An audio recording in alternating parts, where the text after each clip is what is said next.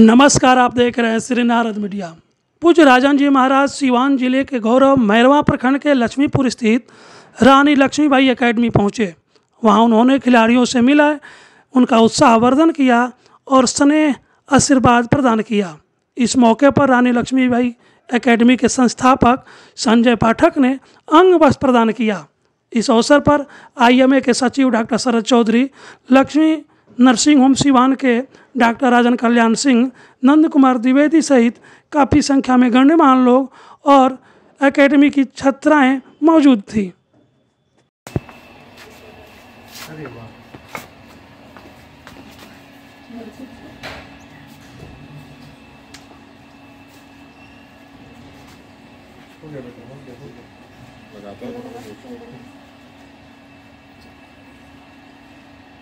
से जे लोग ना गई रहे वो लोग खुश हो जाए जो गई रहे वो डबल खुश हो जाए सब बोली सबसे आई बाल हम लोग को नहीं ले जा रहे हैं खाली यही लोग जा रही है।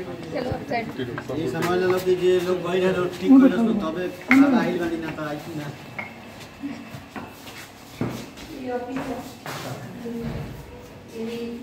ये वही जगह है जहाँ से हम लोग शुरुआत किए थे। यही के हम लोग बीस लोग रहते थे। इसी में बनाते थे खाना हाँ इसी रूम में। इसी रूम से लोग सोचे सब कुछ इसी में हम लोग पढ़ाई उसी इसी साइड में हम लोग खाना बनाते थे खाते थे और इधर चौकी लगा था। उसी पे हम लोग रहते थे। ये शुरुआत तीस बच्चे। तीस बच्चे हाँ।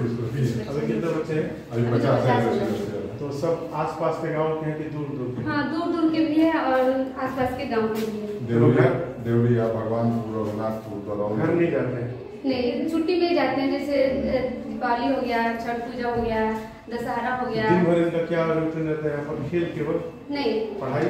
पढ़ाई और खेल दोनों पढ़ाई मतलब किसी बोर्ड से रिलेटेड है कि?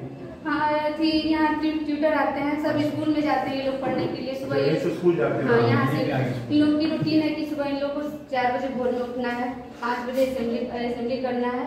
फिर प्राइवेट वाले लोग साढ़े सात बजे स्कूल चले जाते हैं। असेंबली करके ये लोग फ्रेश वगैरह हो जाते नहाते हुए आते हैं। फिर नहाने वाने के बाद ब्रेकफास्ट करते हैं इन लोग का लंच बनता है लंच लेकर के लोग स्कूल चले जाते हैं। जो फिर अ, कुछ बच्चे यहाँ सरकारी स्कूल में भी जाते हैं जो जिनका भी एजुकेशन लेवल बहुत लो है। तो इनको यहाँ के ट्यूटर तो रखे गए हैं लोग वो लोग जाते हैं सरकारी स्कूल पढ़ने के लिए।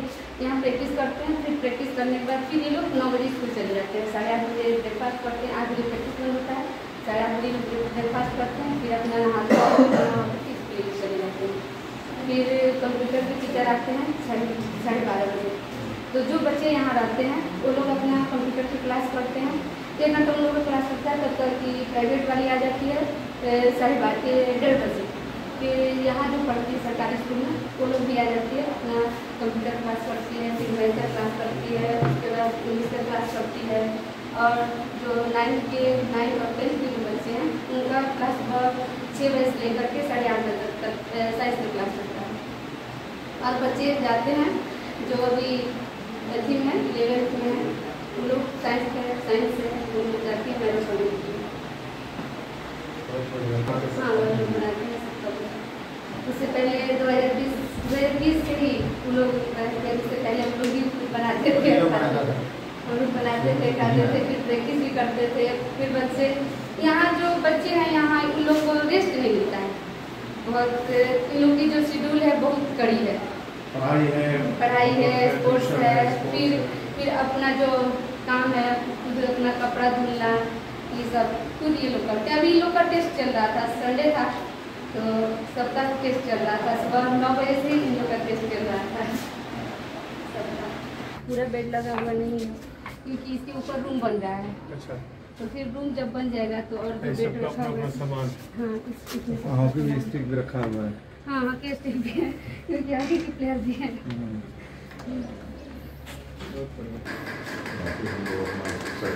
मतलब बहुत बढ़िया। अच्छी तो है बहुत तो नमस्कार मैं हूँ राजेश पांडे आप देख रहे हैं श्री नारद मीडिया। नारद मीडिया की टीम इस समय रानी लक्ष्मीबाई एकेडमी मैरवा लक्ष्मीपुर में है और हमारे साथ ज़िले के लब्ध ख्याति प्राप्त आप राम कथा वाचक पूज्य राजन जी महाराज हैं। राजन जी महाराज, यहाँ पर आप आए हैं। कैसी अनुभूति हो रही है? सबसे पहले तो आप सबको मेरा प्रणाम। महारानी लक्ष्मीबाई को तो मैं नहीं देख पाया, परंतु उनके नाम से संबंधित इस एकेडमी में आज आया मैं। तो यहाँ के बेटियों को देखकर थोड़ा सा आभास हो पा रहा है कि जब ये ऐसी हैं तो वो कैसी होंगी। जो नाम है महारानी लक्ष्मीबाई स्पोर्ट्स एकेडमी, ये बेटियाँ उसी पथ पे चल रही हैं, उनके नाम को सार्थक कर रही हैं और मेरी भगवान से प्रार्थना है कि क्षेत्र के लोगों को भगवान ये मति सद्बुद्धि प्रदान करें कि जो जिस योग्य है अपनी योग्यता और अपनी क्षमता के साथ, इस एकेडमी के साथ लगा रहे। ये आज जो बेटियाँ छोटी छोटी हैं, ये भविष्य में केवल सिवान और बिहार नहीं, मेरी ऐसी प्रार्थना है और आशा है कि ये पूरे भारत को गौरव प्रदान करेंगी। राघव जी की इच्छा है और उनकी करुणा होगी। महाराज जी कहा यह जाता है कि जब भी सिवान में कोई आता है तो उसे गर्व करने के लिए अगर कोई स्थान है तो वो ये लक्ष्मीपुर, मैरवा।